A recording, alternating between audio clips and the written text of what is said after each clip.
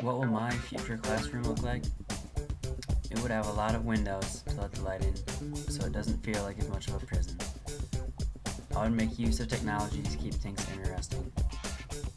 I would have a television to watch Bill Nye and Mythbusters, and a smartboard with clickers so that my students could play Jeopardy!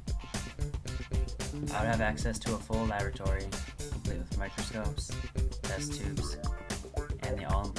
all-important Bunsen burner. There would also be a computer lab nearby where students could type up lab reports and do research.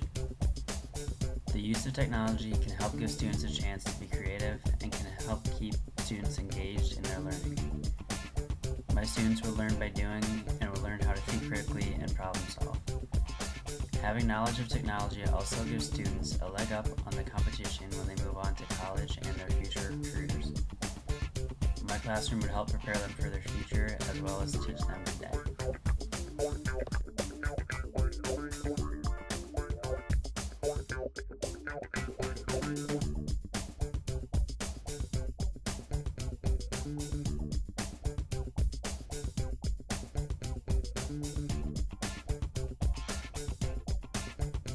Thank